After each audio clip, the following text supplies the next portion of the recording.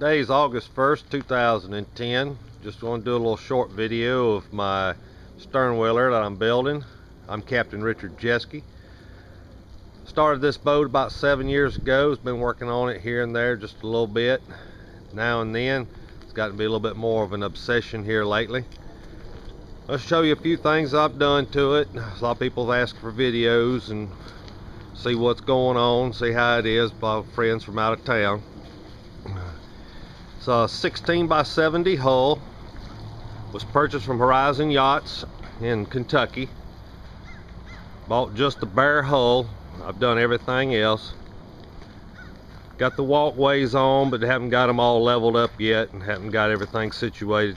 Get them bolt. They're all bolted on to be able to be removed to be able to haul it. The wheel's about a 14 by 14 wheel. Made out of all aluminum except the 2x10s. Took a little bit longer to build than I expected. The 2x10s took more work painting them than it did to, to manufacture the wheel. I've not got the chain yet for the drive or the big sprocket. I've got the small sprocket to go on the differential.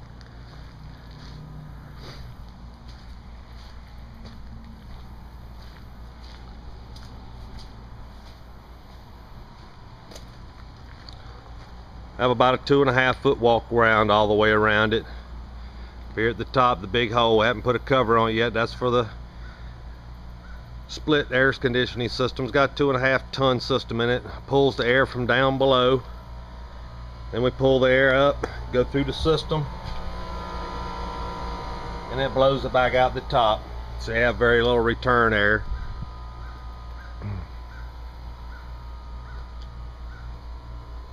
The hull's made out of 3 16 aluminum. It's braced on the bottom every 16 inches. It's got three keels on it, two short keels on the outside. Got one long keel all the way across the bottom, you can't see it. Runs almost all the way from the front all the way to the back. When I ordered the hull, that's just a standard hull for a houseboat. I just ordered it, was told them when they built put it together, just put a bow on both ends and that'd probably be good enough for what I need to do.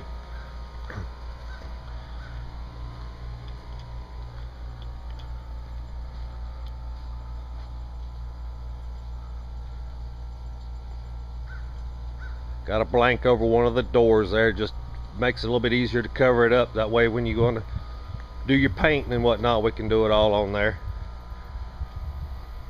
Axle still needs to be shortened. The wheels hasn't been yet welded to the uh, axle yet. None of it's been bolted down permanent waiting to get the sprocket in and everything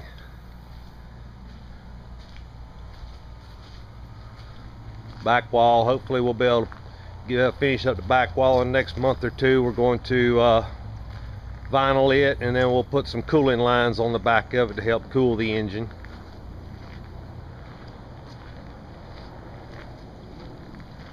Pilot house is somewhere about uh, 10 foot by 18 foot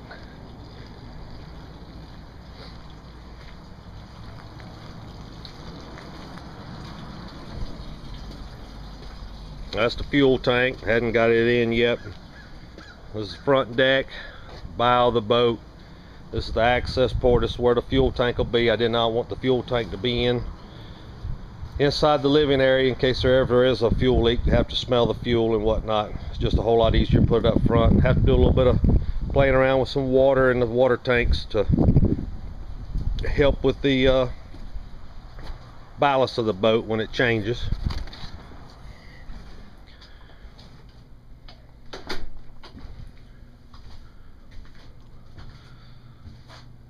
This will be the living area.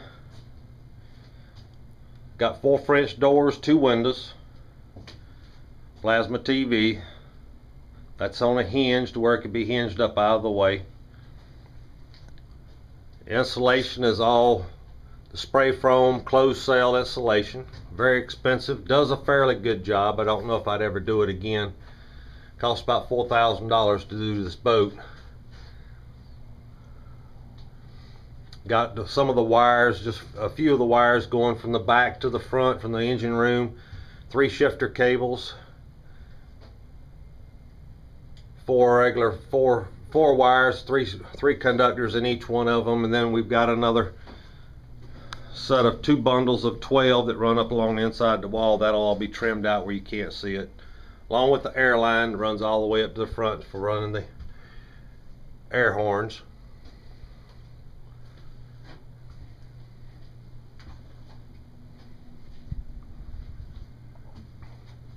Got a little closet in the stairway. Still a long ways from being finished. Still about, about another year to go. Kitchen.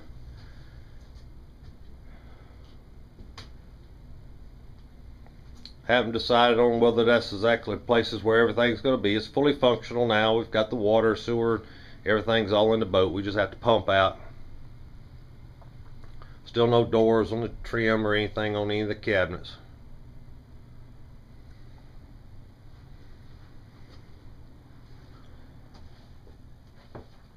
Stairway going up to the pilot house.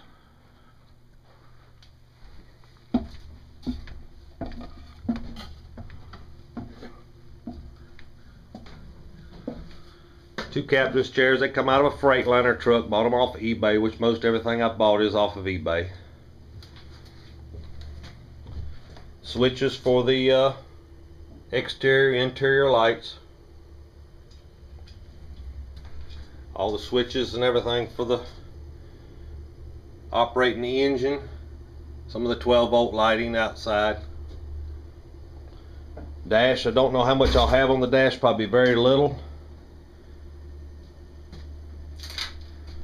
Some of the electrical for the uh, wiring harness. There's about 36 wires going from pilot house all the way back to the engine. Gauges for the engine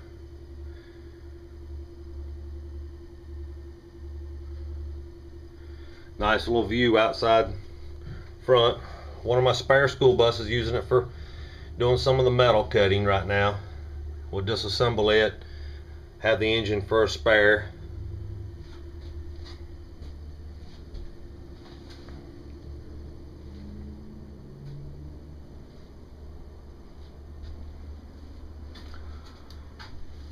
Same spray foam up insulation here. Roof fan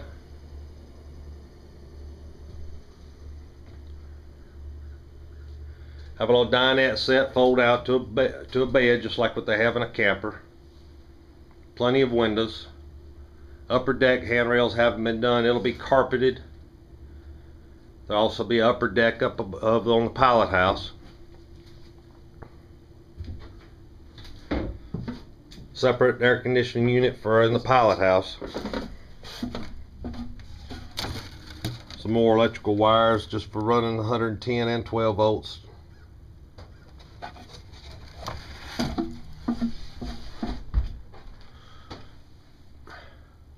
main breaker panel.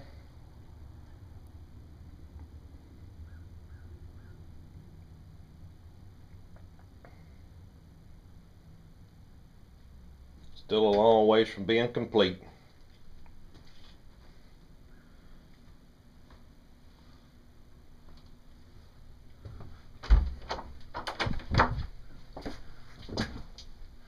Back side of the electrical panel.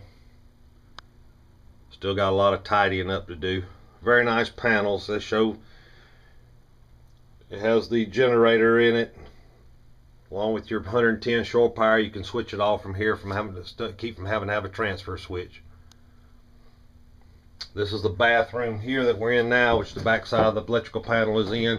There'll be a bathtub along here. There'll be a commode and then we already had the sink just set in. It's not finished yet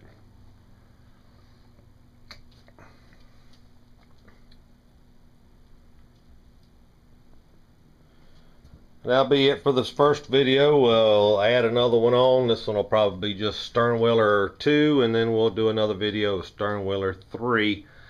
Uh, we'll add on probably uh, today.